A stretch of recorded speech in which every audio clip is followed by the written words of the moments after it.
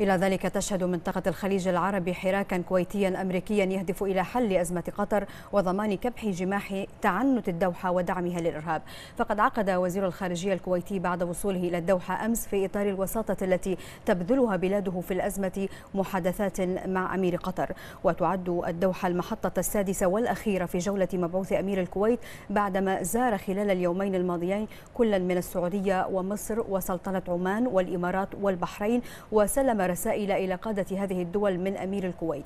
وأفادت مصادر كويتية بأن أمير الكويت يسعى لجمع قادة الدول المعنية في قمة تناقش آلية الخروج من الأزمة ويتوازى مع الجهود الكويتية أخرى أمريكية حيث وصل المبعوثان الأمريكيان إلى البحرين بعد زيارة الكويت وقطر. وأفادت مصادر دبلوماسية بأن الجهود الكويتية الأمريكية تسعى للدفع نحو قبول الدول الأربع بالعودة إلى الاتفاق التكميلي الذي وقعه أمير قطر في عام 2014 مع أخذ التعهدات اللازمة على حكومة قطر لتطبيقه على أن تتم مراقبته من قبل الدول الأربع لتنفيذ بنوده.